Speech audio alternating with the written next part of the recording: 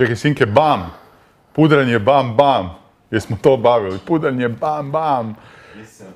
Jep, stari, na pudru sam se bam bam. Uh, nakon dugo vremena podcast sa meni omiljenim realizatorom, ne zato što Martin nije dobar kao on, nego zato što Sinke i ja uvijek imamo neku posebnu kemiju, iako ga sad ne vidim iza ovog grmlja mi je.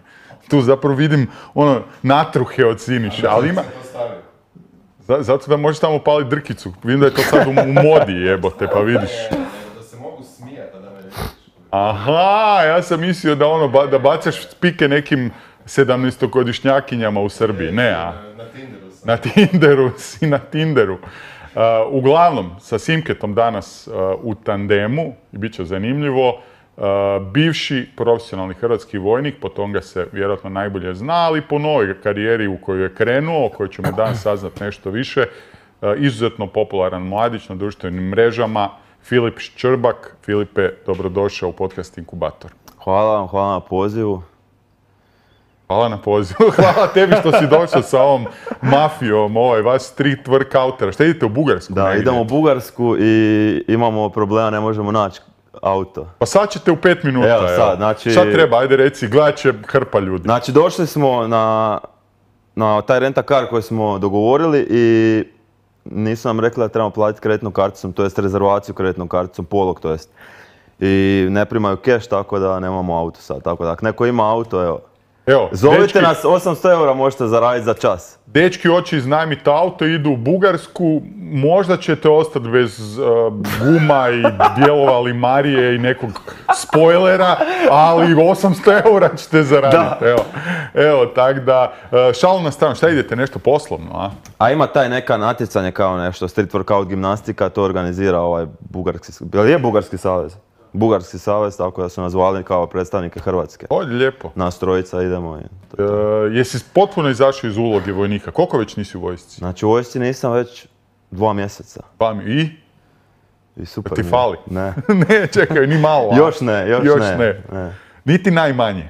Pa malo možda ono, taj režim neki, uh, navikao sam, ipak sam 8 godina bio, pa možda ono, fale mi kolege, ono, prijatelji, tamo imam dosta sad poznanika i to, ali ovako posao kao posao, baš i ne.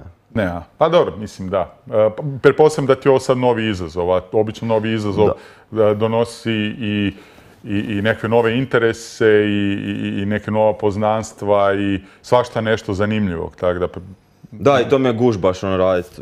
Radiš stalno, jest da se više radi, ono, posao od 8 do 4, dođeš u 4 doma, znaš da ćeš dobiti plaću sedmu, da će sjest, radio ti ne radio, plaća će biti, a ovako baš nije tako. Ako Da. ne radiš, nema para i to je to. da, to je istina. Da, ali izazovno je i da, to, koliko radiš, toliko zaradiš. Znaš šta me, e, kad sam razmišljao o čem ćemo pričat, izuzetno me zanima i vojnički dio i street workout dio, odnosno vježbački Mhm. Da, da, dio. Uh, ali ajmo u dvojničkog, mislim Ajmo da je to, ajmo od dvojničkog. Uh, ja sam od uvijek klinac, mislim koji većina muških klinaca, pretpostavljam, ono igrali smo se s autićima, pa si u jednom trenutku dobio, ne znam, vojna vozila, pa džipove, pa puške, pa ovo, pa ono sve nas je zanimalo, svi, smo htjeli jedan dan ići u vojsku, ali onda kad je došla prava vojska, onda sam išao u civilnu, koju većina, ono, bježao sam samo da ne odem. Uh, koja je tvoja situacija bila? Jesi ti kao klinac već htio biti vojnik i kako se uopće danas postaje profesionalni vojnik? S koliko si krenuo? E, krenuo sam s 20, ja mislim. Da, da, da. S 19 i pol, 20, tako nešto. E, što si pitao? Pitao sam te da li si kao klinac već htio biti vojnik ili Ili- je li ti to nešto vojnik- usputno bilo? Nije, nije. Ili vojnik ili policajac, ono, ko što se rekao da svaki klinac to želi biti. I ovaj, to sam, evo, ostvarilo mi se, to sam probao i 8 godina sam bio i mislio sam da ću do mirovine ostati, ali društvene mreže se to nešto otvorilo, o tom ćemo i kasnije pričat. Tako da sam odlučio, jer ne možeš, ne ide jedno i drugo. Znači, možeš se posvetiti samo jednom, kvalitetno pravo se posvetiti. I to je to, ne ide oba dvoje. Tako da sam uzeo normalno ovo, je veća i zarada i sve veće radim kako hoću, sam sam svoj gazda i to je to. A, reci mi, kako se postaje profesionalni vojnik? Znači, ti si sa, rekli si sa 19,5 Da. a, postao, da li ima nekva, ne znam, obuka, akademija, škola, da si ti imao neke predispozicije? Da li Nije, znači moraš uh, imati 18 godina, prijaviš se u svoj ovaj vojni ured u lokalni, to ima na županiji ili na gradu, ne znam sad točno. Dobar dan, dobar dan, ja bi došao u vojsku, može papiri, crno bijelo, Hrvat, vamo tamo. i tamo se zabilježiš, odeš na, na temeljnu, to jest na ro- u ročnu vojsku koja traje sad čini mi se dva mjeseca, odradiš to i onda čekaš poziv za specijalističku i to ti kao tri mjeseca, onda se tamo kao specijaliziraš i onda, po- i onda to je to, onda postaješ raditi. Znači u biti do- imaš pet mjeseci negdje obuke. Ajmo reći pet, pet mjeseci obuke imaš kao neke, da. Da li, si, da li biraš tada već nekakav smjer? Vidio sam da si ti bio Ne možeš u gromovima, ne- tako? da, ne možeš birat ništa. U mehanizaciji. Ništa, znači... Ne, ne, gdje oni- te oni bace, tamo si to. Hm? Tako ja sam iz Slavonije, oni su mene bacili u Petrinju i jedino ako imaš neku špagu, onda se možeš prebaciti još. Mhm. Ali ovako ne, di te oni stave, tu si. Jesi ti bio zadovoljan sa tim što Pa si u nisam, mehanizaciji? Nisam, s čime, sa? Šta nije, vid- čitao sam da su gromovi nekakva mehanizacijsko, da, mehanizirana. Da, znači s vozilima je to. Da, da, da, pa to Nije sam mi to puno igralo ulogu za u biti što ću raditi, ali ko ne znaš uopće ništa gdje si došao. Ono, sad ti neko kaže izvidnik, šta ti znaš šta je to. Jasno. Ono. I bilo mi je bitno da dobijem to, da radim u Slavoniji, ali to ne možeš birat, kužiš. I onda su me, jedino me to smetalo. Nije mi bio bitan koji je posao, bitno mi je ono bilo mjesto. A na kraju smo se snašli, kupili smo kuću u Petrinji i ono, Fora što je središnja Hrvatska, uvijek sve ti je blizu, ono je Slavonije si, ne znam, do Zagreba treba 3 sata, 4.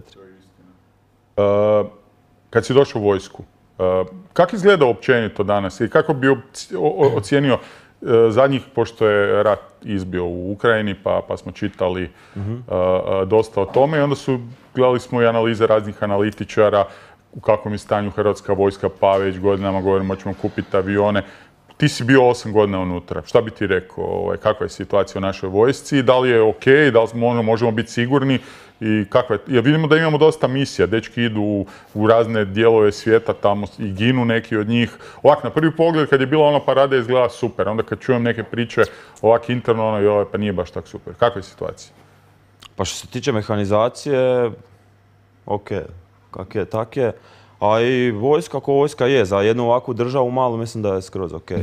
Samo evo, veliki minus je plaća vojnika, to, to definitivno te se treba povećati i vjerojatno ni ja ne bi otišao iz vojske da su dali neke uvjete. Ovo je, uh, prosječan konobir ima veću plaću od vojnika, tako da. Da, to je malo demotivirajuće. Da, Mislim, to je- jer razumiješ, ipak je, nije sad ti u vojsci naradiš da ti krampaš tamo, da te neko sili tjera.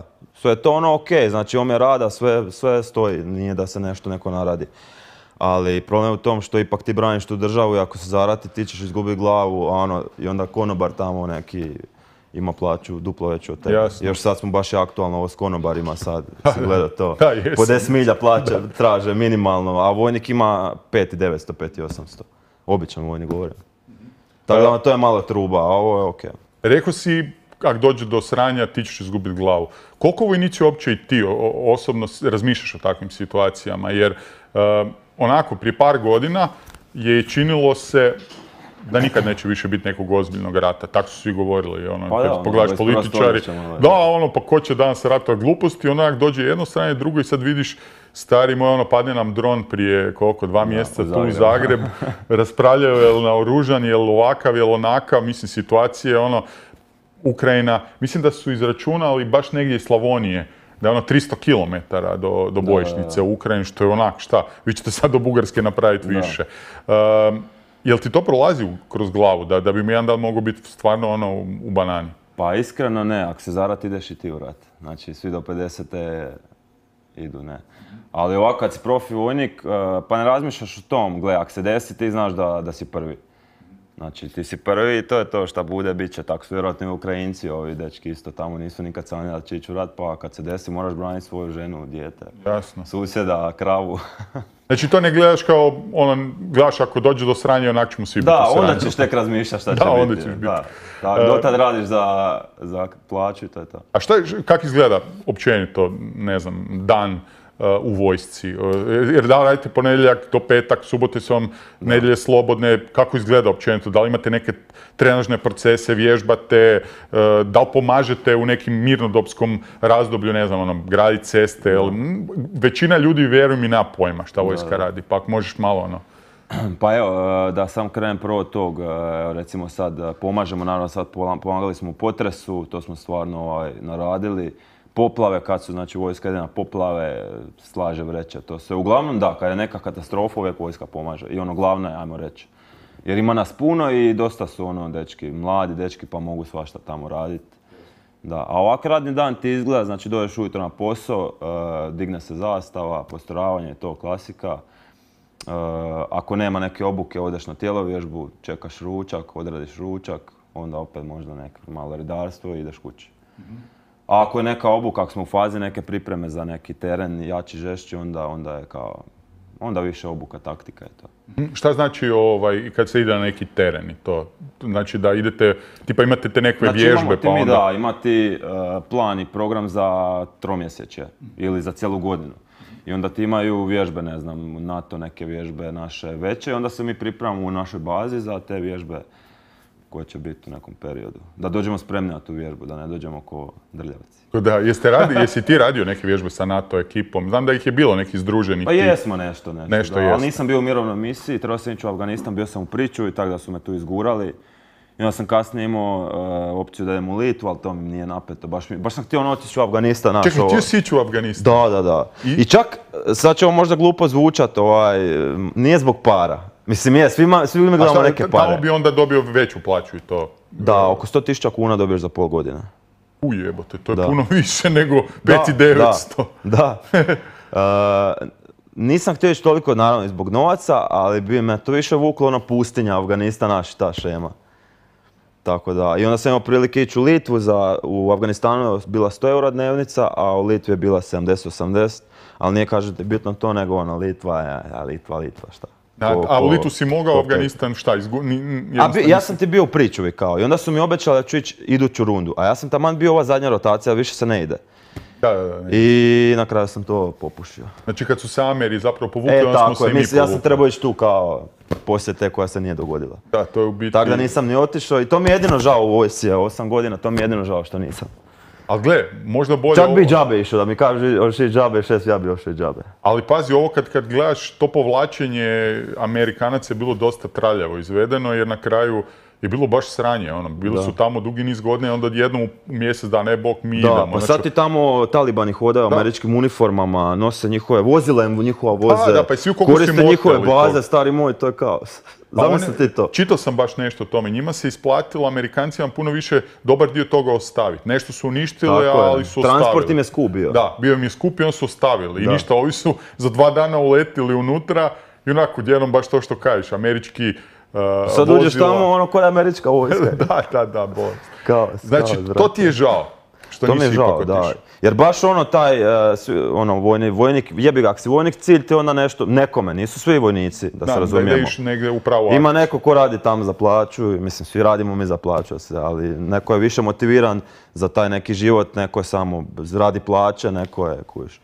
I onda, ovaj, to mi je baš ono bilo želja da odem, ali ja nisam Daj mi reci, da li si, mislim, ok, e, to mi se sviđa kod tebe, ja isto vjerojatno da sam vojnik bih htio vidjeti malo akcija, Pa ne ono, ono, da, kuš cijelo vrijeme biti u kasarni. U mislim. bazi se šta, i treniraš glupo, Da. dosadno je bilo. E, ali da li onda, da bi otišao, u, kad bi otišao u Afganistan, da li bi onda neko podsjesno ipak ti malo akcije, znaš, da možda neko bude malo ne bi baš, ne bi malo, baš. Ne, a? znači isto- ipak nisi toliko luda. A nisam toliko lud, da, baš ja- da izgubim glavu u ja baš Afganistanu. razmišljam, pa Mislim, ti to uvijek možeš malo. vjerojatno, kažem, ne, nisam bio, neću sad govoriti neke gluposti, ali vjerojatno ono možeš očekivati, jer tamo su se radile neke ophodnje. Da, da, da, znači mi smo tamo, to je bila mirovna misija i naš je zadatak bio u biti čuvaš bazu ili ideš od baze do baze, neku rutu osiguravaš na onim hambijima ili ne znam ti nekim tim vozilima ideš e, okolo. Pancirka, puška, full oprema i gle, zna se desi taj di, bum, i od nemate kuša, ono. Znaš da uvijek kad god ideš na rutu možeš ono očekivati nešto. Pa bilo je hrpa takvih Da. američkih filma koje ja obožavam, ono, uh, gdje, gdje se točno vidi kako Ameri u biti su, ni- nije Afganistan, ali može biti Afganistan, nebitno, ono, negdje u, u, u arapskom svijetu i ono, baš te ophodnje, ono, idu i onda vrlo često nastane sranje ili ne, ne znam, nekakva sačekuša ili neke Da, na onom mine. kanjonu vjerojatno E si pa gleda- to, da, da, da, i onda si ono, a, kurac, ovo jednom puca od svugdje. Ja e, to ti je to, ophodnje neke, kuš, uvijek se tu na nekoj toj ruti može desiti sranje, ono. Ali baš da bi sad namjerno htio ući u sranje, nisam tolika budala. Ja bi možda samo jednu, ono, da vidim kako. Ali da znaš da ćeš preživjeti? Da, da, pa normalno, ono, pa nisam lud. je. Uh, Kad pogledaš sve zajedno, koliko si osam godina bio, je- jesi li zadovoljan i sa sobom i sa tim iskustvom i šta ti je to donijelo u životu? Pa znaš šta, je, jesam jako sam zadovoljan. Znači, razočaran sam s tom plaćom. Ja sam imao dosta veću plaću, sam imao čin, kuš. Ja sam imao čin desetnika i tamo sam trebao sad dobiti narednika. Kroz pola godina sam ostao. Sorry, a na e, na- e, vratit ćeš se na ovo da li si zadovoljan ili ne, ali na, na temelju čega se dobivaju ti činovi, ono? Pa na temelju truda, znanja, ja sam full bio nabrijan. Znači, kad sam ja došao u vojsku, ja sam ti bio na tom nekom testiranju za te naše činove, bla, bla, bla. Ja sam ti bio treći u brigadi, prvi u bojnoj, kao na toj nekoj rang, rang listi. Jer sam uvijek bio fizički spreman i uvijek sam čito učio, volio sam, baš sam to ono bio full nabrijan kuš na to. I... Ček, što sam sad počeo pričati? Ne, kak, kak se dobivaju činovi? E da, i onda a, na temelju toga, ako si, ne znam, u prvih sto na toj listi ideš, uh, ideš na školovanje. I to. I onda kako odeš na taj prvi čin, onda ti neko vrijeme prođe pa ideš na drugi, dra, dra, dra, treći i tako. Čekaj, onda kad dobiš čin desetnika, desetnika lovima okolo možeš zapovijedati? Da, ja sam imao svoju desetinu, deset ljudi sam zapovijedao. Jel se promijenio odnos između tebe i tih ljudi? Pa Jer- provisi kakav si ti Jer ipak kužiš. u konačnici, Da, znaš, u jednom ste ravnopravni, sad ti njima objašnjavaš šta trebaju raditi. Je, je, dobro pitanje. Da, malo je zajebano, kužiš ovaj... Ovisi kakav si ti čovjek. Kako se ti postaviš, ako možeš ti imaš e, neki koji se dignu u nebesa i tamo ih tlače, ali ne možeš ti vojnike zajebat, stari moj.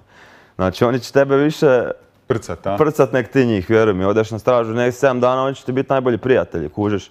S kim ćeš pričat, ono, znači sad zamisli odeš na stražu teren, s njih 10-15, ako si ti šupak, neće ti niko se obratit, e, stavljat će ti, zamočit će ti cipele, popišat će ti se u cipele, u ove čizme. Kužiš, tako da ne treba se zamjerat vojnicima, treba- nisu oni ludi jebi. Trebaš biti pametan, jel Trebaš biti pametan, gle, trebaš znaju, moraju, moraju znati, vojska tako funk- funkcionira, hijerarhija, svi slušamo svog nadređenog i tako to jedino funkcionira, drugčije ne bi mogla. I onda ono, moraju te slušati, ako kažeš pometi ovo, on mora pomesti, jebi ga, nešto sad ti reći, pometi to, moraš ono, ajde, kužiš, tako kako da ti objasnim. A da mi reci, jel ima, bit ima seronja koji su do, do jučer bili normalni vojnici, private, A ima a uvijek, onda da. odjednom ono, dobije neki činjić, Da, pa da, ono da, pa da, ko u onda- svakoj, da, čim da, imaš neku ovlast, odmah si druga osoba. Ja, ja mogu reći evo, da nisam baš taki bio, ja sam uvijek ono išao prvo na fino onda, ali rijetko se dogodilo da nije, nije išlo na fino, uvijek su to ok dečki. Jebi ga, ja onda poštuju te onda, kužiš, poštuju te. I kaže, kažem ti, oni su ti najbolji prijatelji. Jebeš ti ovog tamo nadređenog, ti njega ne vidiš nikad. Ja imaš ekipu kujaš sad se šupka tom nadređenom kojeg vidi jednom godišnje, a tu sere po vojnicima s kojima je svaki dan. Da, dobro kažeš, dobro Imaš, kažeš. Treba biti tu mudar. Bolje i- onda se posvađa s ovim jednom godišnje ga pretrpiš i... Točno, točno, viš dobro razmišljaš. Da. Dobro razmišljaš. Ma gledaj, uvijek gledam iz tih, a da- daj mi reci, jel ima ono kao u filmovima u vojsci, uh, smicalica, inicijacija, pizdarija, sranja, ono da, da, da neko novi dođe pa, pa mu doslovce se iživljavaju na njemu. A i- nema, ti to, toga. nema ti jer ovaj sad ti je To ne smiješ reći ili nema stvarno? Ne, pa ja nisam, mislim, smijem ja reći. Ne zajebavam Da, smijem ja reći šta god hoću, ali... uh, nema ti tog, jer dosta ti je sad rigorozno, nije ti toliko prije ono da ti, ona kak je bila JNA ili Pa šta zato već. Nisam toliko stara, ali znam po pričama kako su pričali ovi stari, ne znam, dođeš pa ti tamo lupa te, šamar ti lupi, ne znam, stojiš na kiši tri sata. Da, da, Ovo ti je sad sve u- upakirano, znači ti ne smiješ vojniku da da radi s klekovima. Znaš kako se kažnjavao s klekovima? Mislim, meni je to najnormalnije. Pa Nešto kako? zajebu cijeli vod, ajmo s klekove, bam, dolje. Nije to njima, neće to njima odmoć. Samo mogu pumpati i imati veći Pa jesi gledao sad Top Gun novi? Da. Ako- Ne, nisam. Ako nisi pogledaj ga, znači najbolji, rekao najbolji remake u dugo, znači onaj pravi, ono vojni film je malo sladunjav, ali odlično napravljen, baš Mhm. old school. I isto je bilo, znači to je u današnjosti, kad su popušili nešto s mislim da su trebali 200 u komadu i napraviti. to je super. Znači on diže svoju psihofizičku spremu, a, ali fora ti je ovo, sad evo imaš vod od 30 ljudi.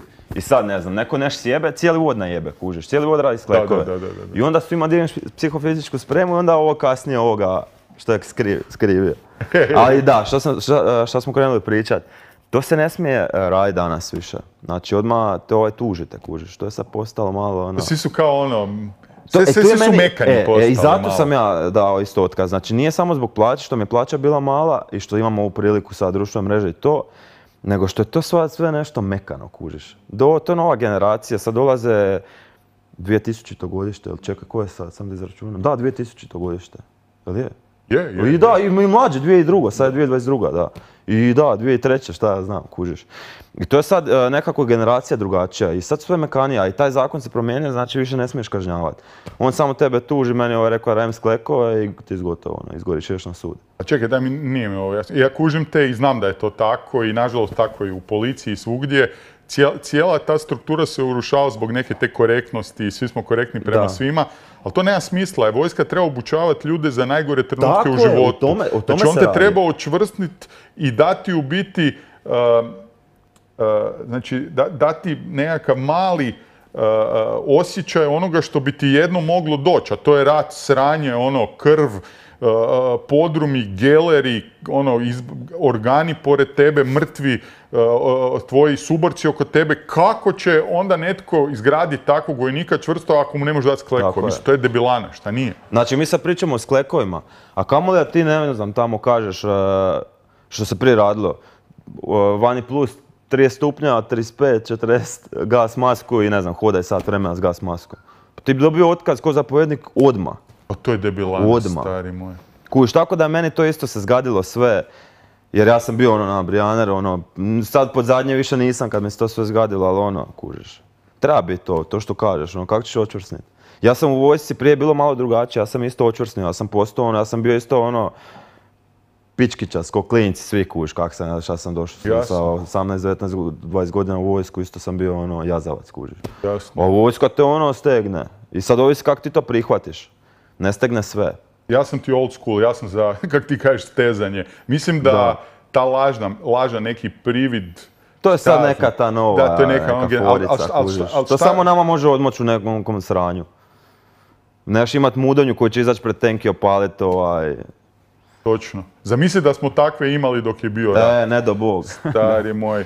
Pričao mi je baš nedavno netko, ne, ne, gledao sam dokumentarac ovaj, na, na HRT-u 3 je bio vezano za obranu Vukovara i likovi su, pazi ti, ono, kako su imali tu jednu ce- cestu, Trpinjska cesta, gdje Da, su da, da, satrali sve tenkove, kako su ih rokali. Tako da su preko noći, dvojica su prek, ce- prek ceste, pa lijevo i desno uh, iskopali su prek jedne noći rov koji je bio taman uzak za jednog Mhm. čovjeka i visok da se možeš čučnut. I kad bi tenkovi dolazi, on bi sam izašao iz ceste, Zdrav, roknuo ga i spustio se dolje, uopće nisu znali od kuda dolazi. I tako su ih jednog po jednog satrali su ih ne znam koliko. Ali pazi ti, uh, iz današnje perspektive, di bi današnji neki klinac koji ne Da. zna se obrisat šmrklje, prek noći iskopu rov, burazi i to, pa nema O šansa. tom ti kažem, da. Ima, ima stvarno dobrih, da sad ne, ne kaže neko tu da blatim sve, ne, pa ekipu. normalno, da. Ima stvarno pravih igrača kuš koji bi ono, grkljan ti ščupa upaljačem, ali da, da, da, ima stvarno. Ali kažem ti kako ide vrijeme, to sve dolaze neke nove generacije, neki malo Soft, nije mekušci, dobro, soft, nije dobro, baš soft, nije dobro, da. nije dobro. I lošiji su, i lošiji su što se tiče psihofizičke spreme. Znači, kompjuter generacija opet ono, više Da, da, su, da. ja kad sam bio mali nisam imao ni mobitel, imao sam prvi mobitel, ne znam kad sam dobio i još sam uvijek bio, nisam ja 100 godina, ali opet nije bilo te tehnologije, igrali smo skrivača vani, lovice, šta ja znam, kužiš i to. A ovi sad e, odrasli su s kompjuter, nisu sportove, sve više manje treniraju, manje i manje treniraju. I ono, dođu baš kome kušci, ne mogu 50 klekova neki napraviti, kužiš. Ma ja sam puno i rekao. 50 si puno rekao, vjeruj Da. mi. Da, to, to, to je veliki pro- problem i, i često smo tu govorili u Da, i to sad samo može ići na gore, mora, nešto se tu mora desit, kužiš. A moj vojska ako želi privući mlade, prave dek- dečke, vjerojatno mora dići plaću. Dići plaću, ali dići i kriterij ulazak u vojs- Mhm. vojsku. Znači digni kriterij. Po meni, bolje imati tisuću kvalitetnih vojnika pravih krkana nego sad tu dvije tisuće nekih Jazavaca. da. Slažem se s tobom. Baš sam gledao ovaj neki e, na Telegram, ono kak je, kak je rat počeo u Ukrajini i to, pa je on bio taj Telegram aktualan. Da, da, da. Kad smo, pri, sad kad smo pričali o to, frajer izađe, taj neki Ukrajinac baš pred zolju, pred tenk i ono, vi nemaš vjerovat koliko muda ima frajer. Stari moj, ja isto kad to gledam tamo, neovisno Ukrajinci, Rusi, ono, Ukrajinci se brane čovječe i ono, gle- gledam to svaki dan. Nevjerojatno za gledat. Stari moj, nevjerovatno. A, a- a- super mi ono kak si sad stave uh, na GoPro, glavu i da. onda idu, baš je sad, jučer prekjučer bila iz neke tvornice, ko u igri si, stari, ko je ono, puška tu automat i ono gore i onak Da, jedan da, da. onak iza okrene se iza. da to gledamo tri- na društvenoj mreži, da, iza, iza 3-4, onak stoje uza zid, ovaj izađe van, ono, osjećaš se kao u nekoj igrici, čovječe, jebe. Nevjerojatno se to događa ovdje. Bolesno i da je to tak pristupno, Da, e, pristupačno. znaš, jer lik može, a, a, a na početku kad je bilo, na kraju se pokazalo da je to fake, ali isto su bile one snimke na A kraju... onoj zgradi kad dijete plaće, da, da, da, da, da, da, da. i te neko, na početku je bilo hrpa tih snimki, Da. ja sam se hranio s tim, onak gledam, u jebote, Da. a na kraju ispostavilo da je to iz igrica. By the way, bolesno koliko su igrice, dobro da ne možeš Da, raspo- raspoznat. da. Mediji su to objavljivali kao. E, da se vratimo na, na ovu temu, kad pogledaš tih osam godina, rekao si da si ipak zadovoljan, da te izgradilo na Jesam, neki da, način. izgradilo me znači da postane, ajmo reći, real man. Ovaj, I steko sam nešto, ne mogu reći sad da steko sam nešto s tom plaćom, kužiš, mislim steko, imam kredit za kuću, jedino to što sam morao zbog vojske kupiti, ali i zadovoljan sam, kužiš, i ono, izgradio sam obitelj uz to, uz tu vojsku sam prehranjivao obitelj 8 godina, tako da nije, ono, nije, ne mogu reći da je loše, ali za današnje standarde je ono loše. Tako da, sve u svemu zadovoljan sam. Evo. Ja sam. E, iz današnje perspektive, jel bi ti bio za povratak obaveznog vojnog roka, barem neka osnovna obuka, jer pazi, današnji ljudi uopće ne znaju rukovati oružje. Mislim, ne znam ni ja što je najveća Mm. sramota, ja sam išao u civilku, e, volio bih to naučiti. Jel misliš da je to dobra šema, ono tipa bar da te na mjesec dana uzmu, ako dođe do sranja da, da ono znaš šta je puška, di je šanžer i kak se to radi? Pa ja mislim da bi, da. Mislim da bi, definitivno. To, ja znam da je to trošak za državu, ono full, ali mislim da bi. Opet, bitna je profesionalna vojska. Znači, to je bitno. Nije sad nama bi da navučemo, da sve natjeramo i onda ovi, znaš, kad te neko neš natjera. To nije to. Bitna je profi vojska, da imamo kvalitetnu profi vojsku, a ovi bi svakako mogli, jer evo šta se u Ukrajini desilo. Isto su na brže bolje, ajmo svi. Da, da, da. Tako da, definitivno da. Definitivno, da. Dobro, Mladiću. A, koliko ti je bilo teško donijeti odluku da ostaje, ostavljaš se a, vojnog poziva i da ideš, da ćeš ponovno biti civil? Pa mogu te reći da mi je bilo onako dosta teško. Dosta teško, ja sam razmišljao nekih pola godine o tome i financijski dio, uopće ja to sve moći ishendlat e, i, i psihički dio, jer kad ono, 8 godina nije malo kužiš, pa i sad navikneš na taj neki režim da te neko tu, da ti stojiš u pozoru i ovo ono. Bilo mi je dosta teško, ali sam ipak odlučio, it's all about the money, ne. I onda mi se ovo otvorilo, ja sam snimio jedan video, zaradim vojnu plaću, kužiš. Tako da mislim da je vaga pokazala svoje. A jesi se, Računica bo- je jasna. a jesi se bojao da ako odeš iz vojske, a, a nastaviš se baviti s ovim sportom koji se baviš, odnosno, ajmo reći da si ti neka Ne zarađujem sporta, nego... Zna, zna, kužim, Da. ne, ali govorim općenito Da, cijeli taj paket. Da li će ljudi te drugačije gledati kao, jer si, ti si bio zanimljiv i medijima i lju- ljudima i zato što si vojnik. To Da, je onak nekako, ženskama je vjerojatno napito, muškima je onak to ujebote, ovaj vojnik još, ono, baš pravi hrvatski Mhm. vojnik, ono, izgleda kao vojnik, mm što pričali smo o mekušcima, ti si baš prototip onog što nije to. Da li si razmišljao o tome, ujebote, ako odem iz vojske, možda neću biti Ja- ljudima zanimljiv. Da, ja sam, ja sam pokušao nešto u vojsci da ostanem, da mi daju neku povlasticu. Mislim, nije da se ja sad uzvisujem tu da sam ja neki bog i batina. Ali činjenice su, znači dobili su od mene dobru reklamu, mogu sam im raditi neke reklame, znači uniformi, sklekovi, PR, zgibovi, mazanje, puške, zajebancije, kuše, jer marketing im je u banani totalno. Istina. Kužiš. Ali o tom smo malo prije pričali, da No, ne, dignuti sad to. avioni, ono što, sve u rukavicama glupost. Ja sam mogu ono baš radit njima ono što se viđa na društvenim mrežama, tamo ono neki kao macho man pa radi zgibove, pa neki poligon si sastavi, pa vuče balvan, udara s sjekirom, puškom kuš i to sam nešto htio, ali to ti Nema sluha. nema sluha, ono, odjebali su me i onda sam rekao, ajte bok. A- A, htio sam, kužiš, htio si već sam. imao? I mogli su, znači, za 8000 kuna, meni ti plaća bila 8100, 200. Za 8000 kuna su oni mogli imati bolesnu reklamu, ali ništa toga. Ali to je ono što smo pričali, njema to uopće nije u interesu vojci, Da, ne razumije čim, taj dio. ti čim si izvan okvira normalnog vojnika, Da, ti si u kurcu. E pa to, to ti govorim, to je Smijem problem. psovat, smijem. Smiješ, to, da pa će, to je poželjno. E, to je problematično iz moje perspektive, jer, e, reci, Sad baš gledam na TikToku, slovenska vojska. Otvorili su TikTok profil i to sam ponudio da ja vodim vojsci TikTok profil za 8000 kuna. Znači to bi grmilo stari.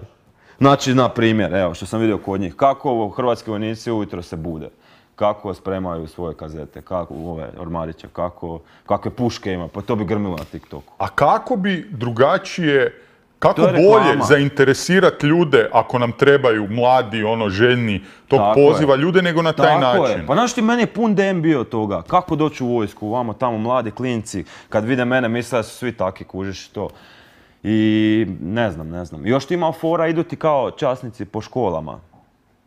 Kao ove klince navlačit, kao u vojsku. I onda tam dođe nešto u kravati pa tam lupa neke gluposti, dođete u vojsku, mi radimo ovo, mi radimo ono. Ja, ja bi došao u školu, u razred tamo svima da pumpaju sklekove, skinio majicu za jebance, oni bi odmah ono, poletili bi. Pa odmah bi se prijavili. Pa normalno. Pa pogledaj koliko Ursa radi recimo Stjepan Ursa policiji dobroga. E, pričali tako pričali E, tako. smo o njemu malo prije.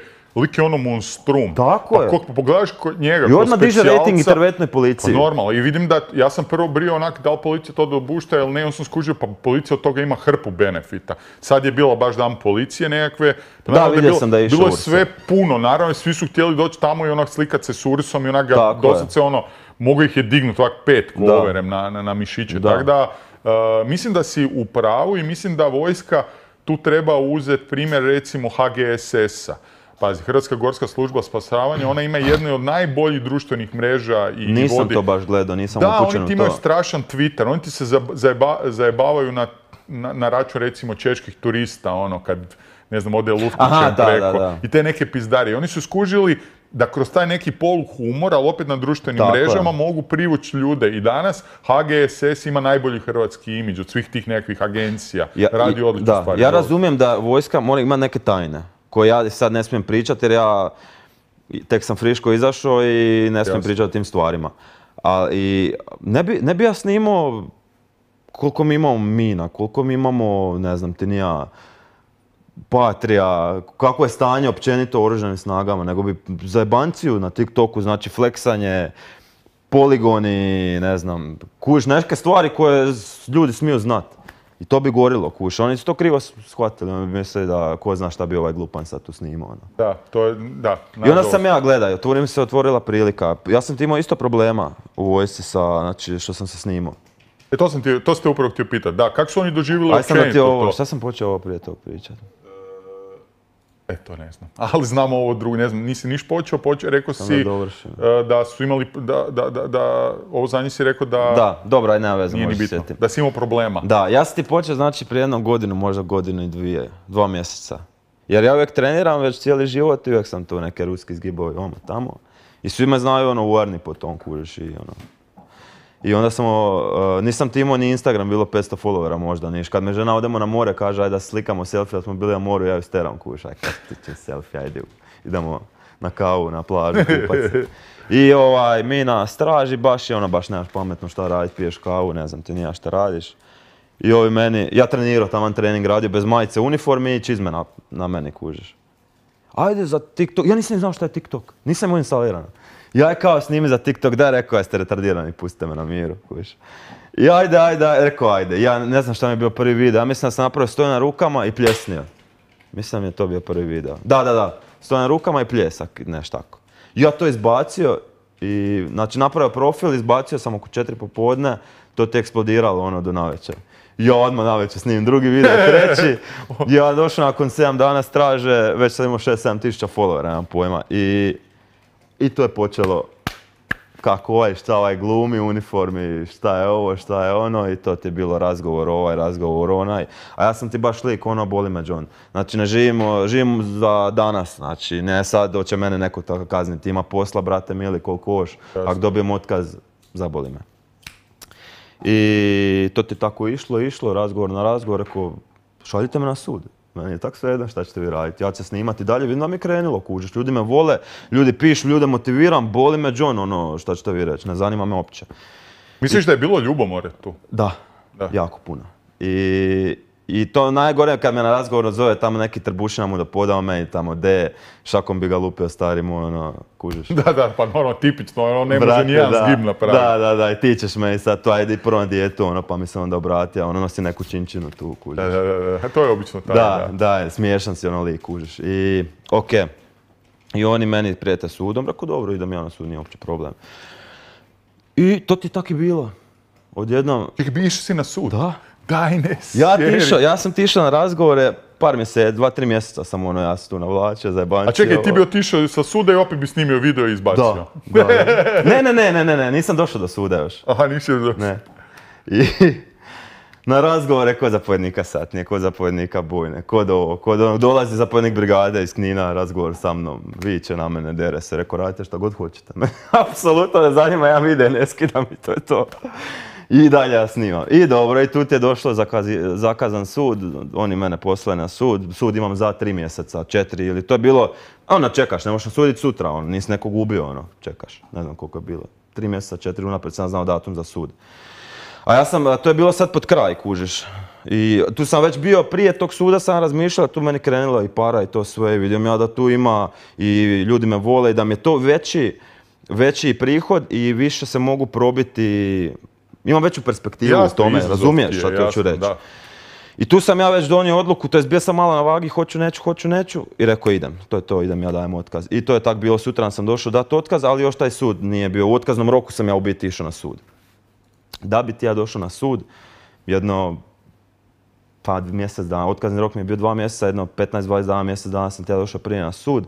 I kažu ti ovaj, I sad, to je vojni sud. vojni sud, da. I kako to izgleda, mislim, ono, Neš, dođeš na Koja sud. je optužnica, e... Isto kao, isto kao normalni sud. Dođeš njih troje tu sjede, čitaju tvoj zapisnik što si ti ovi poslali, što si glubio, što si napravio. Dobro, šta je optužnica u tvom slučaju bila? Što Zato snimam u, u vojnoj uniformi i hlačama i to. Kao. A to je nedopušteno, ima je zakon protiv nedopušteno. Ne, ne, nema, nisam dovršio. Aha, oprosti, izvolite. E, oni su tu ispali, kužiš. E, šta je uniforma? Uniforma je donji dio hlača, čizme, e, gornji dio uni- ove košulja i oznake, oznake. Znači ja sam snimao u hlačama, čizmama i gol do pasa, kužiš. A ja dođem na sud, ovi se pukli smijat na sudu, kaže gospodine vi ništa, ništa krivi, vi niste snimali uniformi, to je samo dio uniforme koji nije legit, to možeš kupiti na Kuševcu. Istina, imam i ja doma. Da, e. Znači to nije legit Isto si ja kuću, to sam kupio Da, za ribolov, da. sorry, imam. Da, e, onda još ideš na vojni sud, e. piši ga tamo. To one, one su ko kvadratičaste hrvatske zastave, ona, E, eto to, taj, to. imam takvih više. Da, Da. ja ti I nije ni jeftino, by the way, na Jakušnicu, hlači su 200-300 kuna. Da, ali dobro, okej su, da. Aha, ok. I došao ti ja ovaj, tamo i ništa, oni, e, na kraju sam ti ja dobio ukor. To ti je najmanja kazna moguća, to je ono kao kad u školi dobiješ, ne znam ti nija, za pozovu ti roditelje. I to sam samo dobio zato jer sam kao dočasnik, imam čin kao za nešto. Uglavnom rekli su mi niste vi ništa krivi, ono, to, to, to nema, nema logike, zašto su uopće poslali vamo, kužiš. Ali ti si već bio na I izlaznom da, ja kažem njima, ja sve vam dajem otkaz, vi pišite šta god hoćete. Kao, nemojte, nemate, to vam ne koči ni za napredovanje, ni za, apsolutno ništa. Rekao, ne, ja sam se pomirio, ja ne, ne želim više ovaj posao raditi, ono, zgadilo mi se to sve, ali nema respekta prema meni. Sad opet neću sebe uzdizati, ali koliko ima takih ko ja, kužiš? Da, pa niko je bio. Razumiješ, u Hrvatskoj vojsci, ko zna kad će opet doći? Tako da, rekao, "N- neću to i tako da sam ošao i to je to. Jesi se na kraju... Uglavnom, navlačili smo se ono dosta. A jesi se I to je okej meni sve bilo zanimljivo, ono. A? Jesi se okej rastao s tom ekipom, ovaj... Ne, či- e, pretpostavljam da si s nekima bio bolji, s nekima lošiji od tih e, ljudi koji su bili iznad tebe, ali ti koji ste zajebavali, ono...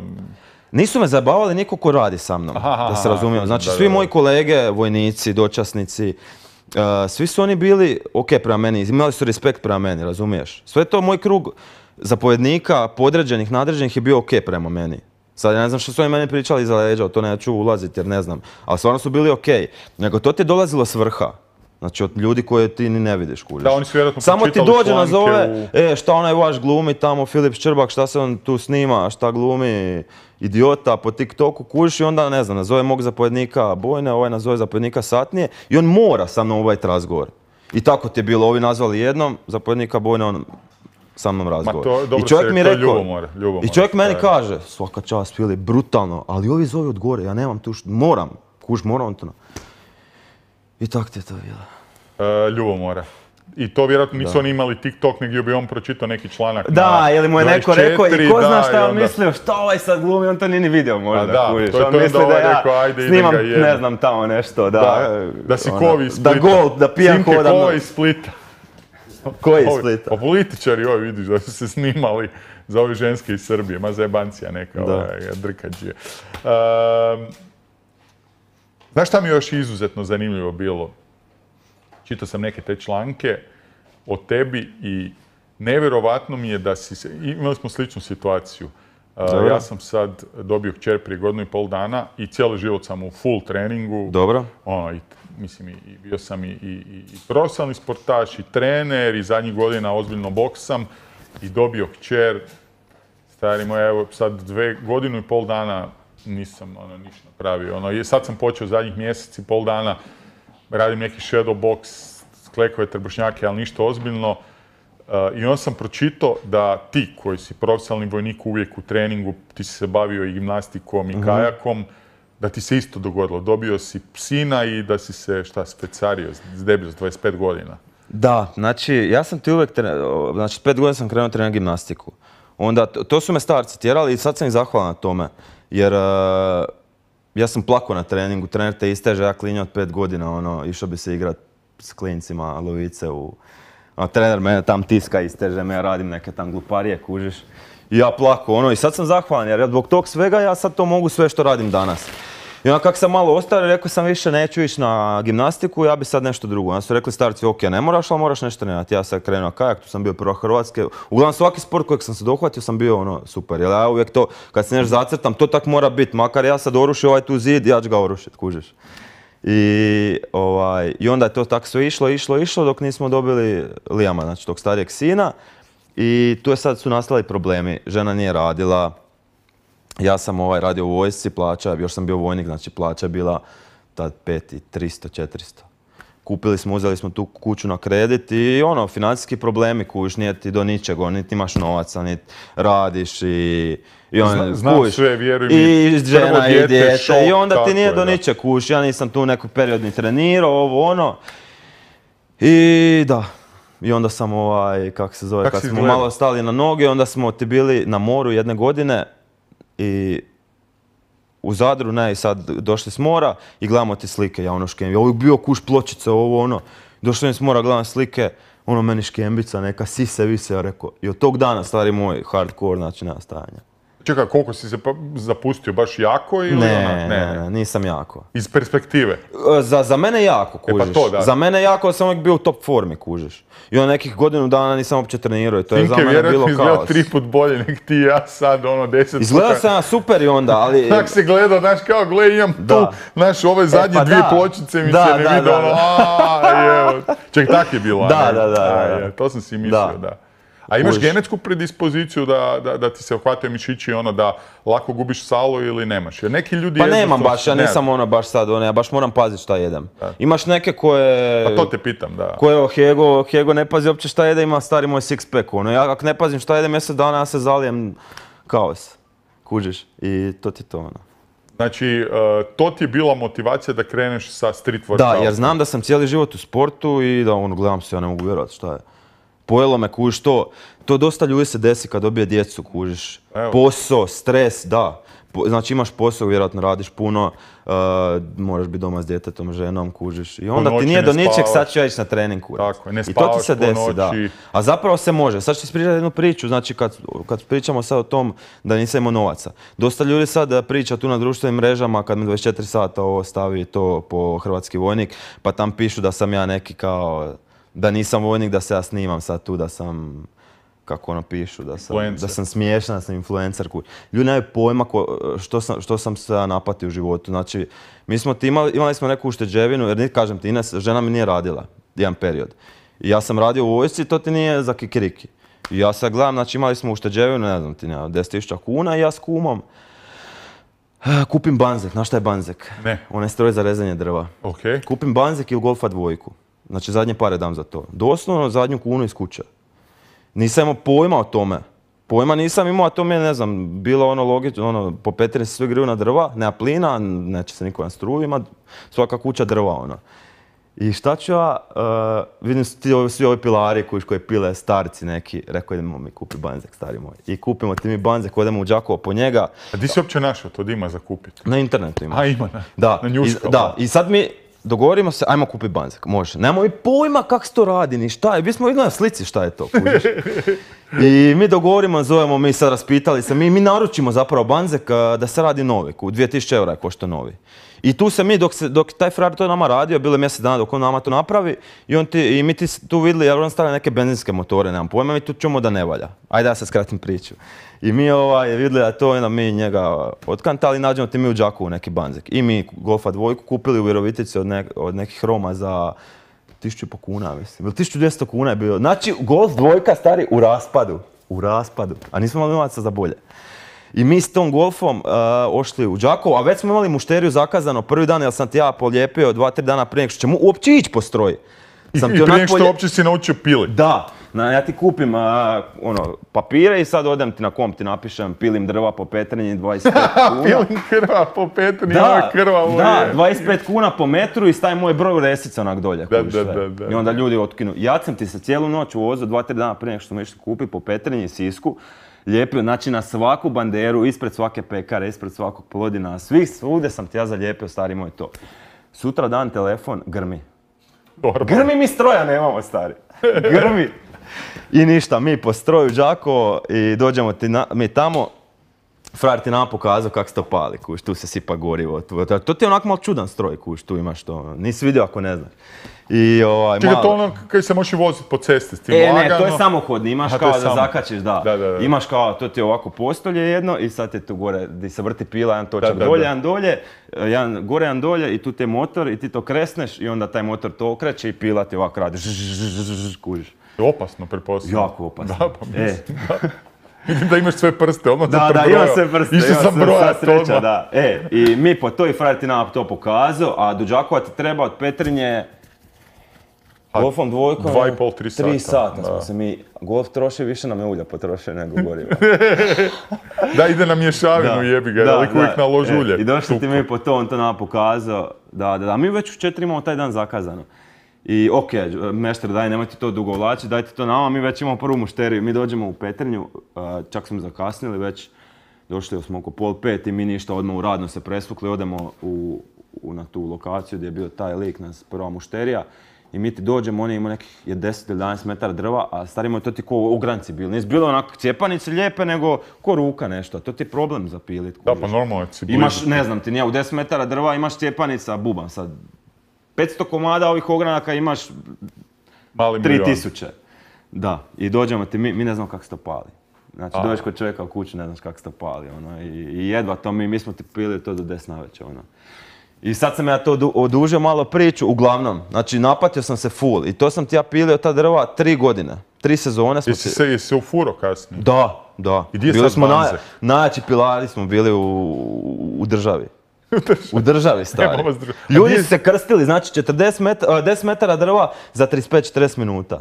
A čekaj, prvi put ste do 10 navečer, 25. Da, da, znači kao sam ču, ču, ču, ovaj dodaje, on ne stigne da kak ja brzo Jesi pili. se porezao kad? Je li Ne, bilo blizu? Ne, ne, ne, nije nikad. Nije nikad bilo blizu, pazio si je. Da, ma mogu sam žmirečki. Mislim, to- zamisli da si vojnik i da je ovaj prst se Ovu sjeo. otkaz bi odmah dobio. Zamisli Ne, kaj ono, ima- otkaz odmah. Dakle, ovo je baš banana je.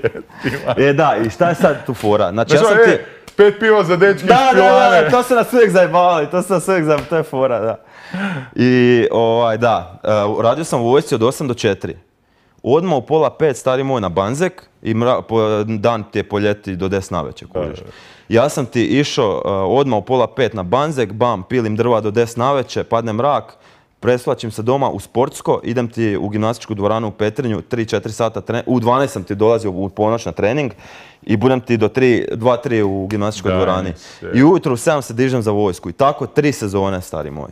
Stari, I onda se žena zaposlila i onda smo stali na noge, onda sam to prodao i Čekaj, nema više banzeka. Ne. Koliko si dobio za njega kad si ga 10 tisuća, 9,5 tisuća kuna A kad si ga u, u gostu. kupovao? 2 tisuće eura. Dva, dva samo evo, znači, ma, pa isplatio se. Da. Isplatio se više puta. Isplatio, se, znači uložili smo 20 tisuća kuna, isplatili smo to za 15 dana. Evo, ko želi biti pilar, slobodno. Simke, hoćemo još, to je sad smo pokrenuli ovaj game on, mogli bi Banzeka jednom kupiti Da, ti i ja. da. Ovdje po Samoboru, vjeruj mi, Bura zima posla koliko Da. hoćeš. I tako da onda kad mi neko... I tako da kad mi neko kaže ono kužiš da, a ja sam se nabacio drva stari moj, ko životinja ono. I- dobro, to je i fizički rad. To Je, je, ono, teško, baš da, stari da. moj, ono, baš je hardcore.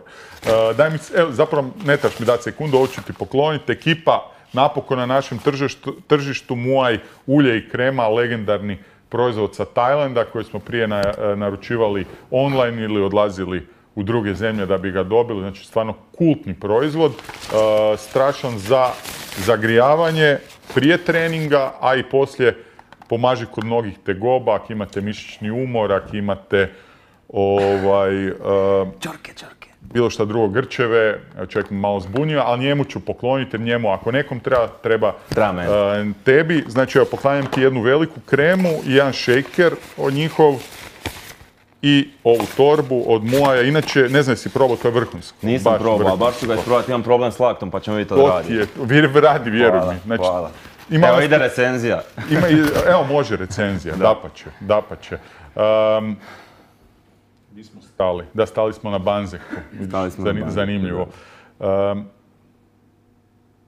kak si se, koliko, koliko, ti- koliko ti je trebalo tad, sa 25, kad si se zapustio, da se vratiš u formu i da zapravo zavoliš? Je li to razlog zašto si zavolio street workout? Da. Jer street workout je dosta specifičan. Imam dosta dobrog prijatelja eh, i koji je bio tu nekoliko puta u podcastu Marin Vlahović, koji ima, on je street workout. To ne je Siska?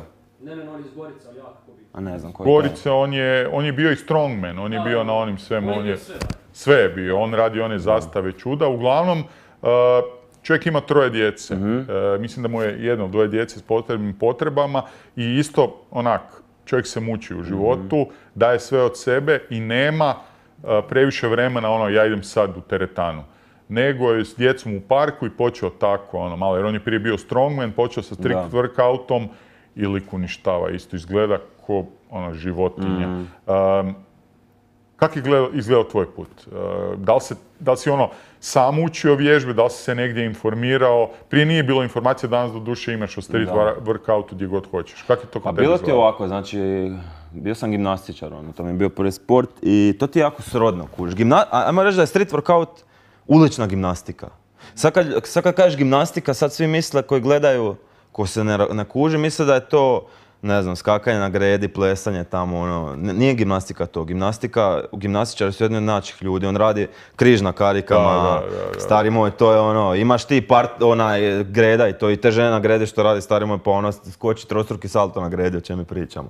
Vidio te sve ti gimnastičare. Filip Pude, pa oni su gore već ono bolesno jaki. Tako da je to ono, ajmo reći, ovo je ulična gimnastika. Taj street workout moderno kao nešto.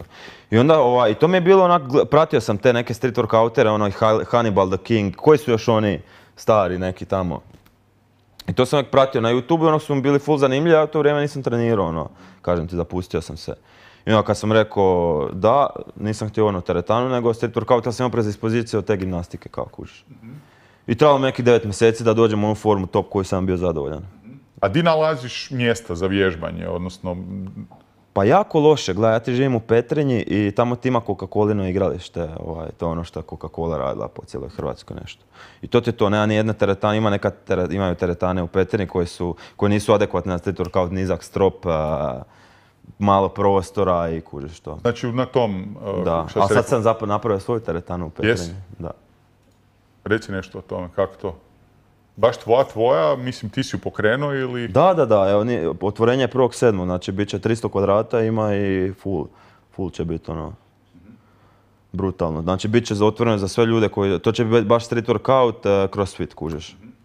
I moći će ljudi doći sami vježbat, radit ću grupne treninge, individualne treninge, to sve, kužeš. Ak, ali čita taj period, ako si mogao vježbati samo, rekao si, na, na Coca-Colinom igralištu, jel tako? Šta ako je kiša, ako je snijeg po Mhm. Zimi, vježba kako se, izgleda? vježba Vježba se, ili hoćeš ili nećeš, da.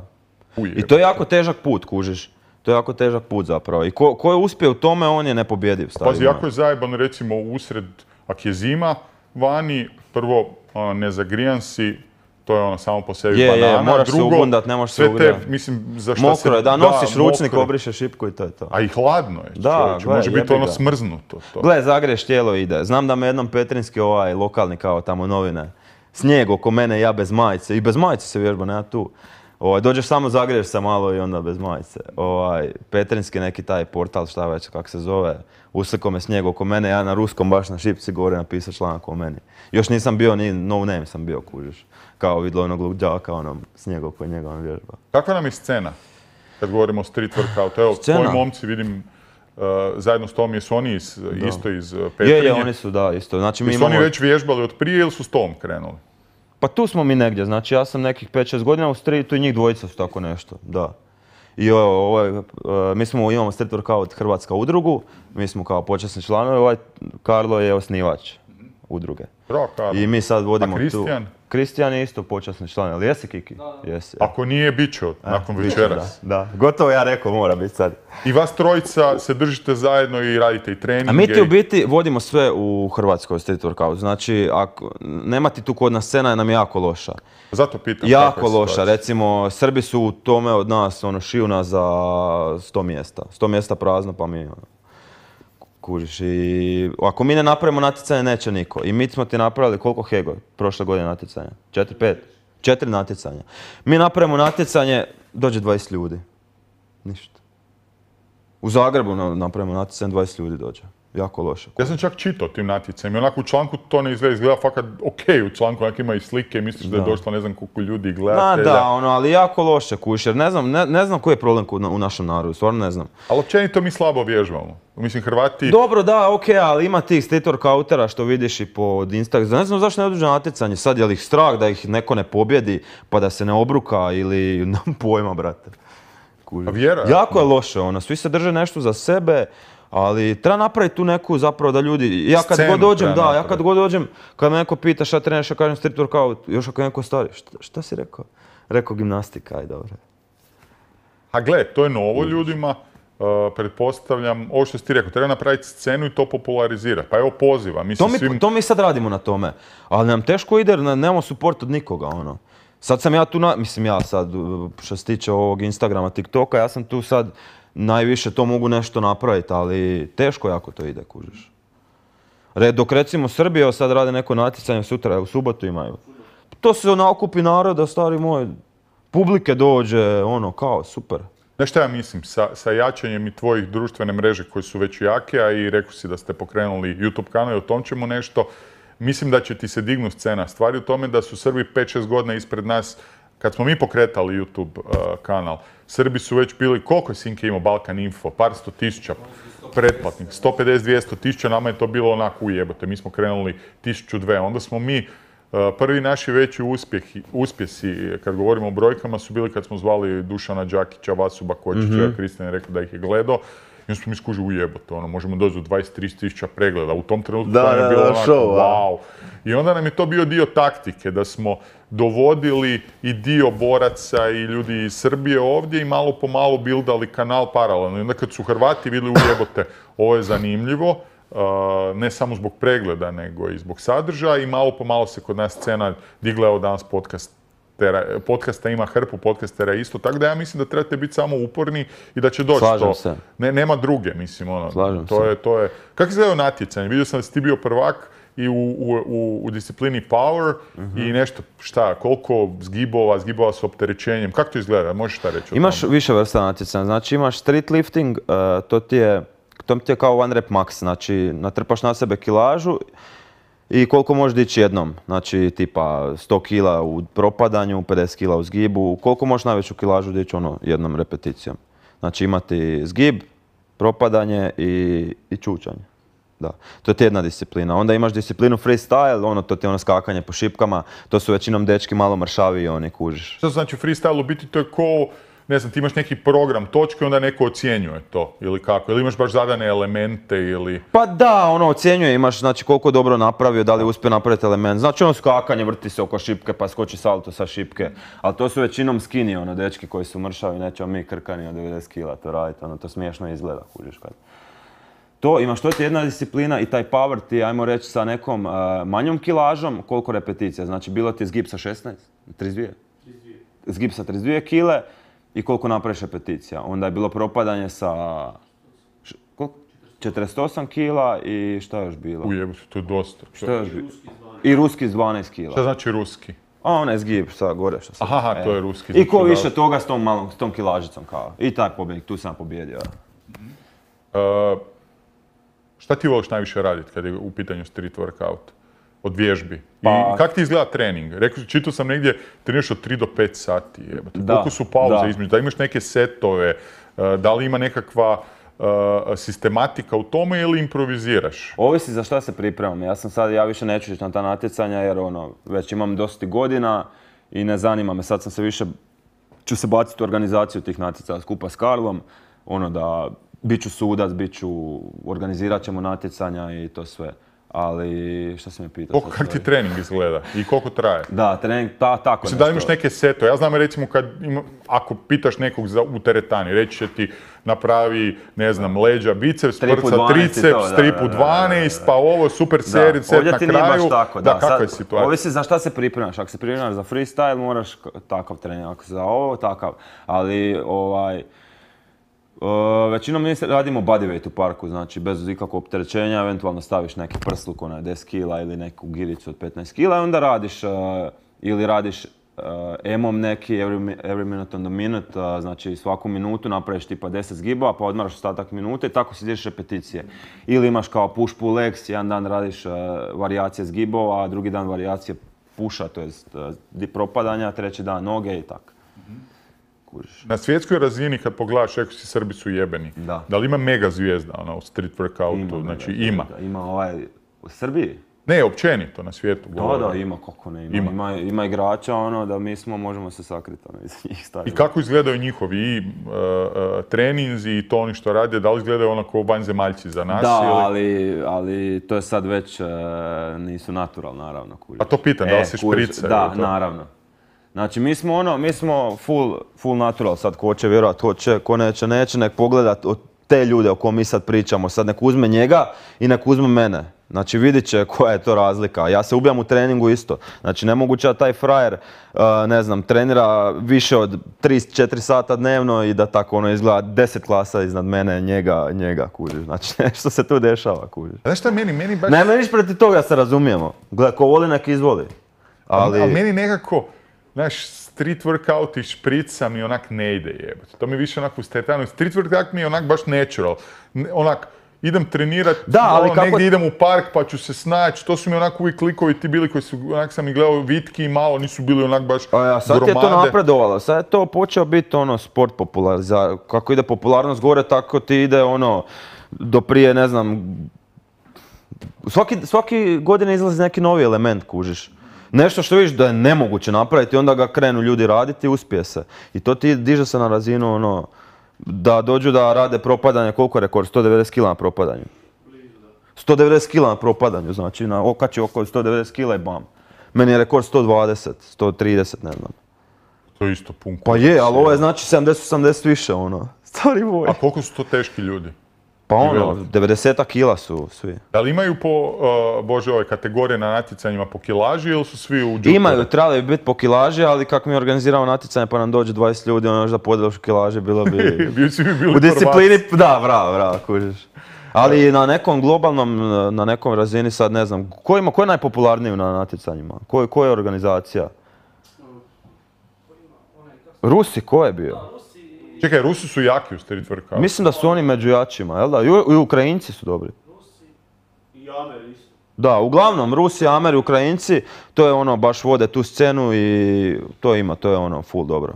Jel treba imati neke predispozicije? Jer iz moje perspektive, ja kao čovjek od ono, 195 i uvijek iznad 100 kila, prilično debelo, ne znam, ono, iz, meni velikim ljudima i ovako koji su građani koji ja, ja imam ono š- š- široke kukove i to sve od, od boksa i od priješnjih sportova, stari, ja, ja pa- pravim 15 gibova, to je meni ono znanstvena fantastika. 15 gibova stari, mo- može ići u drugu odmah.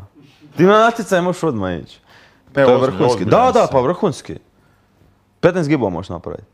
Pa kad sam mogao, mogu, mogu sam između To je 10 to. i 15. Da, šta me pitaš, kak, Na sto- da dođeš... Meni je to, čin, meni se to čini Ne, užasno pa to je super, to je super. Ja recimo imam neke klijente, kužiš, ko, ko ne može jedan zgib napraviti. Ja sam bio profesionalni sportaš, Da. a meni je to sramotno. ono. Da, ma to je super, kužiš. I sad recimo Mislim, ti... s 15, ne, da se razumijemo, to je bilo onak kad sam bio u full formi. Realno, na svoju težinu kad bi imao tipa 100 i par kila, napravio bi možda ono desetak zgibova maks. to je Ovakvih. da. Ovakvih napravim više, ima ih raznih, Da, ali ovih da. baš ovih iza, Da. ono, ti su mi baš Da. teški.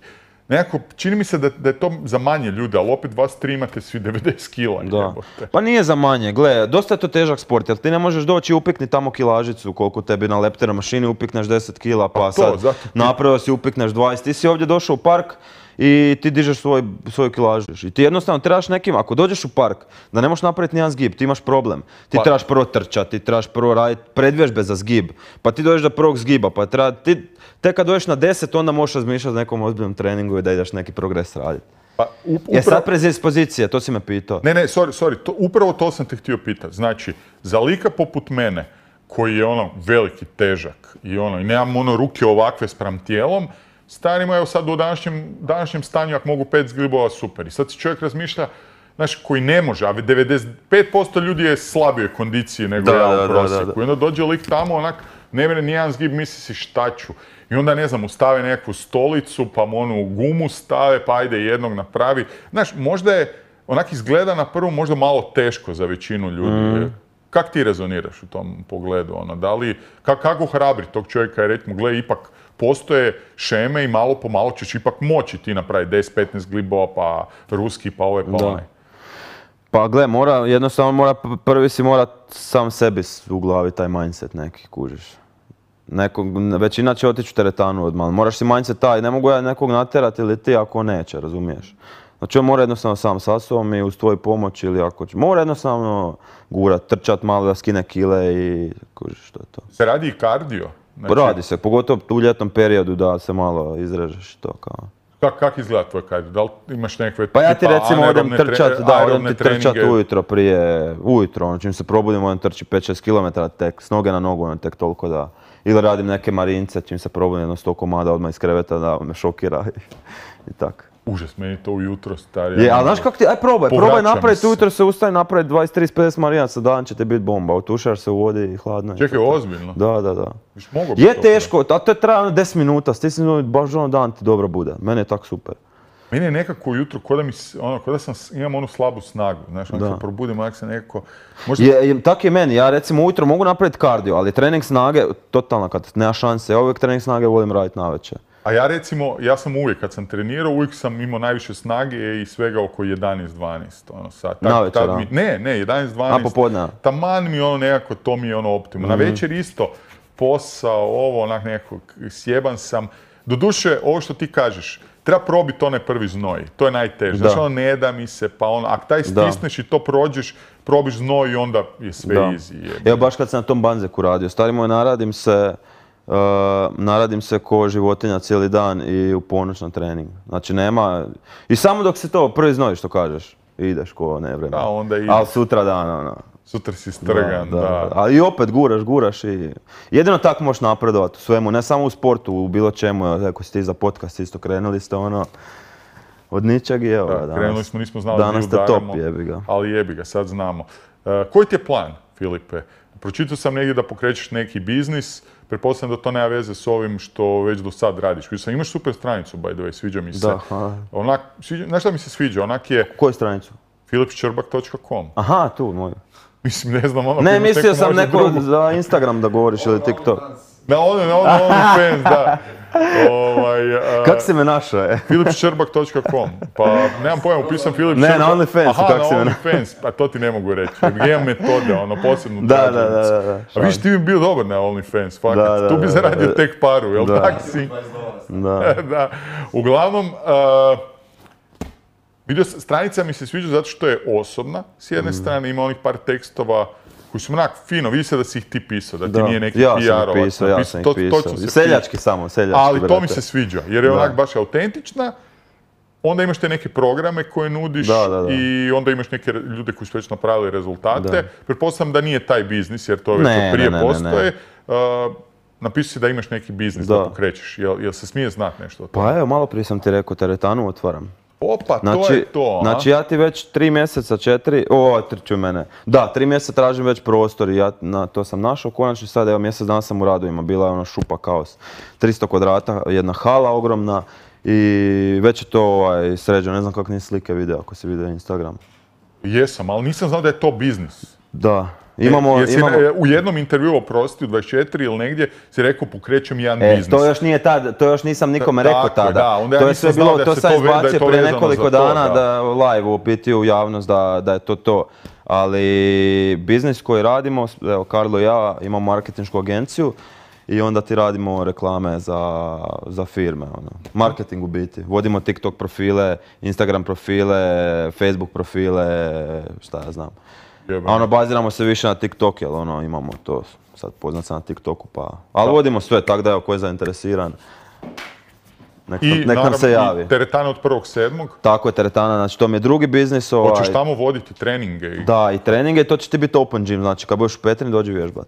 Šta znači open gym? Da dođu, ljudi mogu sami doći, znači radit će od, od 7 do 10 navečer i gym ko gym baš tu u Zagrebu.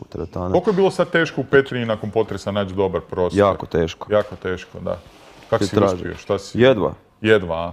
Ali sam uspio, zato sam išao baš glavom kroz zid, rekao to mora kako god A koliko si prostora pogledao prije što ste Pa našli? dosta, ali mi traže neke cijene, ono, bolesne. neke, Bolesne. Da. Tako da sad sam to sredio, ovaj je bio jako loš, sredio sam i sad sam to ono opremio. Znači u Zagrebu se ne je postidila, baš sam i potrudio se i utuko puno novaca u to i sad ćemo vidjeti. Ali ima interesa u Petrinju? Ima jako puno interesa za to, jer ima dvije teretane koje su iz dosta loše, ono, i ona sprave neke stare, 100 kvadrata, 110, ne znam, i to ono baš...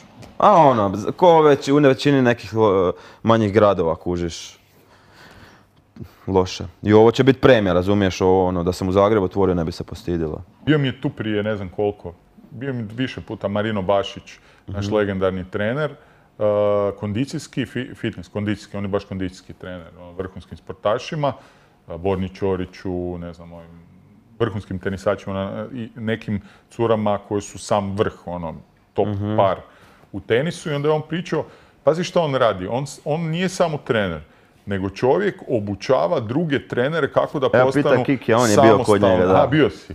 Jesi zadovoljan? Ono? Ne, ne, odlično, Marino, super. On ti ob- objasni kako Da, da. biti da ti zatvoriš uh, financijsku konstrukciju, znači kako na nekom području da zainteresiraš ljude, ali uh, za, za cijeli, uh, za vježbanje općenito i kako toga monetizirati to i zaraditi paru. Ali ono što mi je bilo fascinantno i što smo se složili je da vi ljudi koji se bavite ovim poslom u Hrvatskoj ne možete propasti, jer tek 6% Hrvata vježba, a prosjek Europe je ono puno puta veći. Znači to kod nas može ići samo gore, dolje Da. ne može ići. Da. Sad kad ti pogledaš koliki mali postotak ljudi a, a, a, vježba danas, to je definitivno prostor gdje je tržište ogromno. Tako da, mislim da ćete imati biznis. To mi stalno baš ovaj, ne ide najbolje, kažem ti. Naša, uh, pogotovo ta YouTube scena naša je dosta loša, kuž. Pogotovo, sad, da. Da, pogotovo u tom fitness, znači ja ne mogu, ne znam, mitko, ne mogu ikog nabrojati ono ko... Bio je gabudizator, o njemu smo i pričali. E, on je imao bio, e, on je 100.000, dobar dečko isto. Nisam ga još upoznao, se na Instagramu smo se nešto čuli, moramo se upoznat.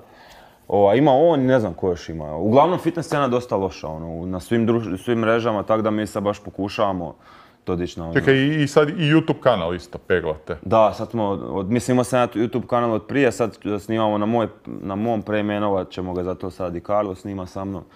I sad ćemo ono baš probati, evo, počeli smo sad izbacivati neke videe redovno, pa ćemo ono... Kako izgledaju ti videi? Da li je to neka svakodnevnica za jebancije ili baš imate neke programe ili za vježbanje? A, ili- pa radit ćemo, znači kak ja sam imao teretanu, radit ćemo, ne znam, si gledao s- Strand Wars, onaj, ko su oni, Strand Wars, Rumunji neki, ko su oni?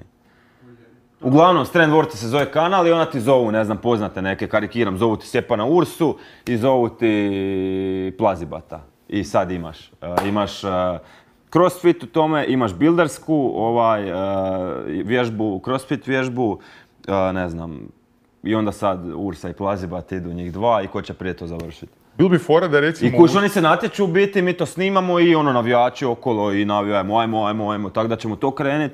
I tako, zvat- prvo ćemo krenuti sa nekim novim no name likovima, normalno ne možeš odmah doći do nekog jebi ga ti kanal u banani. Ali to mi je, su- super mi je ta ideja, ali trebali bi, tipa, Urse Plazibat je dobar primjer, onda bi trebali uzeti neka dva ono lika koji uopće nisu u sportu, ono, neke Da, može i to, ja sam dvojicu uzeo ovako, kužiš. Znaš, dofuraš Sinišu i ne znam, Da, ono, da, da, da. i mene jebote i da vidimo ono u bildanju, to je bilo sve što Da. ljudi bi se prvo smijali tome, Da. ono, koji kurac Tipa ono dođe uh, crossfitter protiv, uh, ne znam, teretana Gaja i tako. Ili tako nešto, pa ima to, da ljudi to da, vole. i to, to ti rade, taj Strand Wars i to bi mi napravili kao balkansku verziju, ono. Pa Kužiš, jebote. to, bi, to ćemo vidjeti kako će ići, naravno još ćemo tu raditi neke za, za, za street workout, neke treninge, ovo ono, kako do, doći do handstanda, ruskog zgiba i... Makar je to sve već viđeno, ali ono opet. Uglavnom i vlogove i tako svašta nešto. To što je viđeno, to ništa ne zna. Da, ne pa znači. ne znači. Mislim, ljudi, ako ti neko ide googlat, on kad izgoogla najrecentniji rezultat će ti ispast, to će biti tvoj video. Tako, Tako da, ja mislim da kod nas nije to dobro objašnjeno i mislim da tu ima puno Nije, prostora. govorim za stranu, na, na engleskom imaš ono svega ono, ali na našoj sceni nema. Vjeruj mi, iznenadio bi se koliko malo ljudi zapravo gleda strane kanale. Iz svoje perspektive svi gledaju i misle, u jebote, znaš kad smo mi to Ja sam baš uvijek gledao strane kanale. Tak i ja. I zato sam mislio, ono, gledao sam uvijek odrastao Da, na, misliš da na ne Roganu. ljudi, ja? Ne, znam sigurno, zato što smo mi tu imali, koliko smo sinke imali, jedno, četiri, pet vrhunskih stranih gosti, ono tipa Alistair, Alistair Overeem dođe ili ne znam, ono, top zvijezde i on skužiš, jebate, pa to nema toliko Niko pregleda. gleda, Pa gleda, ali nije baš ono, mi smo očekivali da će ono baš se skurit kanal od toga. Da. I onda vidiš dolje komentare 90%, jel ima kakav prijevod, šta ovaj govori, mislim i ono skuži da su ljudi razočarani. Mi gledamo iz svoje perspektive, misliš si, ako ja govorim engleski ili neki drugi jezik strani svi govore, ali nije baš tako. E, tako da mislim da bilo što što se danas izbaci na hrvatskom YouTube ima budućnost. Mislim, već smo pričali ranije o tome, YouTube nam je još uvijek u povoj, u odnosu na Srbiju debelo, a di smo u odnosu na Amere ili neke. Tako da, dečki, ono, samo naprijed peglajte u svim smjerovima. Nema šta, vidim da si poduzetan, si brutalno. Da, hvala, hvala. Nema šta. Imaš sad manje vremena ili više nego kad si bio? A, puno manje. Puno manje. Puno manje, da. Ali stigneš šta i otrenirati sve? Ili e, Pa za stignem, sebe? da, sad ono malo sam zapustio, mislim zapustio trenera svaki dan, ali nije ono to, da baš ta intenzitet treninga, ono. Ali stignem, da. Ali stigneš. Uvijek mora trening biti u ponoć, u ponoć, da. U ponoći, svaki dan bar Da. nešto. Da, da, da, mora biti. Jebote, svaka Evo, čast. jučer sam, ne znam, 40 minuta, ali opet se odradio 40 minuta, kuš, bolje išta nego ništa. E, držiš još privat treninge ove tamo ili e, što si reklamiraš i na stranici svojoj? Da, da, da, nešto da, da. 700 kuna je neki šta je Da, to da, paket? privatni treninzi. Privatni treninzi. Da. I kako tipa, evo, pojaviti se netko je potpuno izvan forme i da li ćeš s njim raditi neke vježbe klasične ili ćete ipak ići na street workout nekakav u tom smjeru? Kako ga treniraš?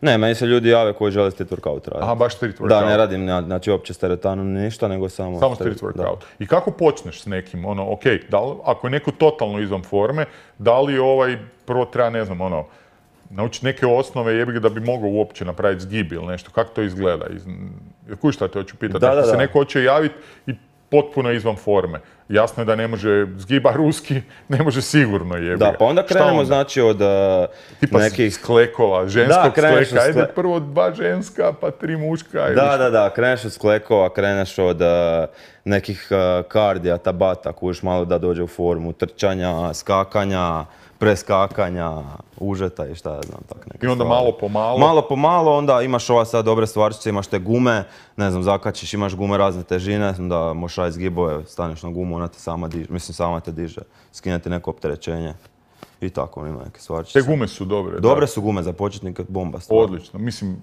da, dobro. A dobre su gume općenito. E, jedan momak koji ima svoj brand, mislim da je UBS ili UBD sistem, on, on radi sa ovim tim gumama i onim nekim špagama i svašta neko, nešto tako mi je jedan dan donio, pozdravljam ako me gleda, zaboravio sam UB i sad ne znam zadnje slovo.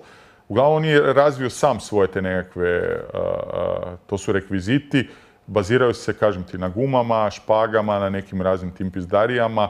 Isto, praktički to možeš okačiti bilo gdje. Dođeš u parku, kačiš i ono napraviš jebački trening. Sve je to popularnije i popularnije. Bila je ona neka faza 80.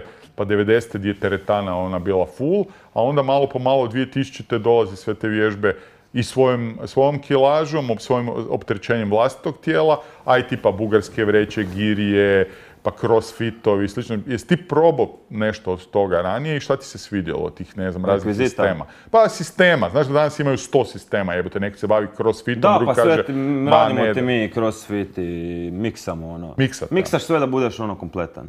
Da. I sad što nama u, u parku fali su noge, kužiš većinom. Većina nas ima, ajmo reći, loše noge, ali nije to zato mi ne radimo noge. Mi radimo noge dva, tri put tjedno, ali ti radiš noge u parku, ono, čučnjeve bodyweight, kužiš, bez, bez dodatne kilaže, onda tu ono, ne možeš baš, ne znam koliko, nabit noge, one ko ovi ljudi iz teretane. To sam čitao. I onda, mi, I onda sad, uh, ko može, ko ima neku teretanu, to onda radi u teretani, onda ono, gornji dio radi u parku, a lower body u, u teretani. To sam baš čitao kad kritizirao street workoutere, ono, par puta, ono, o, di su vam noge, Da, ra- rade oni, većina radi noge, ali kužiš. Mislim, ja sam pogledao, imate vi dečki noge, niste, ono, dobri ste. Pa, nismo baš za neku pohvalu, ali radimo, kažem ti, samo ne možeš to bez kilaža. Ono, toliko- Trudite se. Toliko nabije, da. Uh, ti sam te pitati za tetovaže. Ovu? Koliko ih imaš? Pa mislim imaš ih hrpu. Da, Vidim, ova je imamo- svježija. Vidim Ova je najsvježija, da, znači tu radim, pošto sam bio u vojsci, ovaj napravit ću cijeli sliv u tim nekim vojnim motivima, kao A, imaš ovog ratnik, džipa, vidim, ono, da. da. ali nije to još gotovo, to sam A. tek bio na prvom terminu, tako da. A ovo je kao obiteljski sliv, klinci, žena, ja i tako nešto. Šta ide dalje sve? Bude cijelo tijelo. Ne bude, bude lijeva noga, desna, e, lijeva ruka, desna noga i leđa. to je I to je to, Leđa a? imam već, da. Samo još ovu nogu dovršim i neću više ništa. Ja si baš razmišljam kad ću sljedeći put, ajde, ajde. Sad je Babić, ovaj moj prijatelj, Sević Babić. ovaj, Da, da, vidio sam da se tetovirao, da. Jesi vidio, on je baš Čekaj, on je to u jednom danu riješio, u dva dana. Dva tako? dana. Luđak, stari moj. Luđak. Luđak. Nisam se tetovirao prsa, ne znam koliko boli, ali... Ja sam tetovirao prsa I? ovako tu. Uh, znači ja sam ti bio kod Gandalfa, to on je u Zagrebu, u centru. I živa je priča, priča sam, e, živa je istina ova priča, priča sam je već jednom u podcastu pa da ljudi ne misle da serem. Uglavnom imam ovak. I ovaj, opa. I, I dolazim na dogovor i lik mi kaže, Gandalf, kao da je to 7 do 8 sati otprilike. Ono. I sad, i kaže, to ćemo u tri termina napraviti, kao po 2 do 3 sata puta 3. I ja sad njemu kažem, dobro, on nije bed, ali on kaže, između moraš imati mjesec dana pauze, da se to sve ono, upali se, pa ohladi Da, da, se, pa ono, znači, ono traće tri mjeseca. I ja rekao, stari, meni se to ne da tako, ono, nema, nema sad ću ja dolje tri mjeseca to rasturiti. Da, da, da, neš ni ne završit da mi onda. Se, da, ono, ono, di ću ja, to ja rekao, ja ću iz prve. Ono, odjednom, on kaže, lik, ono, ne, ne buš izdržao, vjeruj mi, ono. Ja kažem, gle, ono, potrudit ću se, ono, fakat brinem da imam visok pla, pla- ovaj, bože, prag za bol. I znam da sam krenuo, kad smo krenuli? Oko 12. Zapravo je rekao da dođemo u 11, i- oko 10 i pol, obrio me, a tad nije bilo onih krema, znaš, koje ono ti u, u mrtve. Tada nije to uopće bilo u igri, ono, bilo je normalno se tetoviralo kako se tetoviralo. I Pa i sad se većinom normalno, da. da, i normalno, da. Ma znam da mi je neko sad rekao dobro, Ima, ima, se s ali to ne koriste ono, da. baš. Ma ne, a, uglavnom, i znam da mi je krenuo i prvih par sati je meni to bilo onak, ok, ono, nikakav problem nije bilo. Ali onda i on je imao pauze, jer mu je trebalo pauze po ono 10 minuta, Da, 15, da. to mi je bilo najgore, onda se ohladi, to je kad krene ponovno, Da, i vjerojatno ta krema... Stari moj, ne, nije ni- ničega, kreme nije bilo ni ničega i znam da mi je tu recimo gdje je kost, kad ti počne rokati ili tu gdje je ključna, baš ti ono lupa po kosti. Da, da, da. I sedam je bilo na večer, već, uh, kad je, do sedam i pol je tetovirao i ja već pred kraj, ono, zadnjih sat vremena nisam mogao. Onak sam, znam da sam u cijelu onu stolicu sam izgrebao, nisam mogao više, jednostavno mi je onak bilo previše, ono. Još je sjenče, onda povlači, ono, a kaj ja tebi pričam, ono, s onim nekakvim zupcem. I poslao me lik po kremu neku, da kupim, da namažem s tim i uh, ona neka obična krema, za to kaj se u, u, u ovoj ljekarni. I došao sam doma, sjećam se, išao sam s tramvajem, nisam mogao staviti auto u centru jer je ono bilo previše za parking. I dođem doma, legnem se i stari skužim ono, jebote, vruće mi je odjednom, čovječe. Dobijem temperaturu, E, skoro to- to je 40 meni bilo, sam dobio. Dobijem ono brutalnu temperaturu.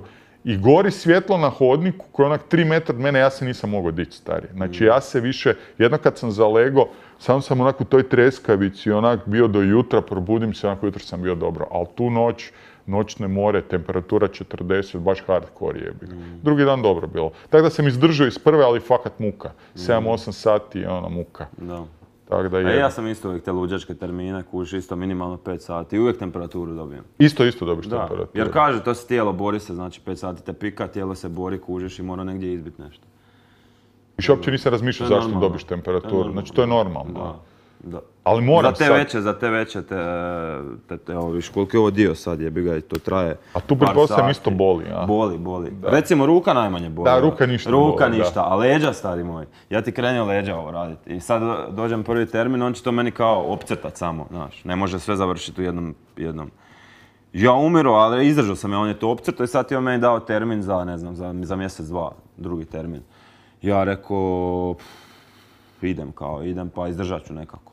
I dođem ti ja na termin, I on krenio pol sata, ja žvačem majicu, stavim slušalice, ma nema šanse kužiš, otipam, miče mu se, ovaj, on eh, govori nemoj se micati. Rekao aj motaj kablove, ode ja kući. I odem ti ja kući i naručim se za drugi termin i kupit ću tu kremicu kužiš. I kupim ja tu kremicu jer nisam znao da to uopće radi kužiš i dođem ja ovaj, za nakon dva mjeseca s tom kremicom, namažem ja to, stavim foliju 20 minuta da to utrne. Ništa nisam osjetio. A daj ne sjedi, znači krema funkcionira. Da, jedno dva sata on te mene drljao, ja nisam ništa osjetio, onda je krema počela gubiti svojstvo i kako on rukom pa briše ove dijelove, Da, da, kužiš. da. I onda ju opet namažeš, ali vrhunska stvar. Ali to kao, koliko sam skužio, rekli su mi da to tatu majstorima smeta. Ali se ta koža umrtvi bude nekak teška za tetoviranje. Tako da oni to izbjegavaju full, oni to, baš ovo neko ak ne može ono da umire, onda mu daju. Još nisam ni to znao.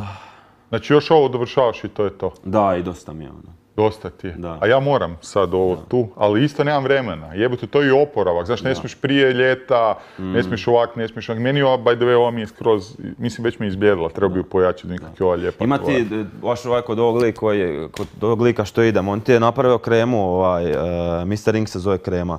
I onda ti, kad se tetoviraš, to je baš krema za tetoviranje sa nekim biljnim, e, ima tih puno biljnih e, sastojaka unutra i baš je namijenjena za mazanje tetovaža.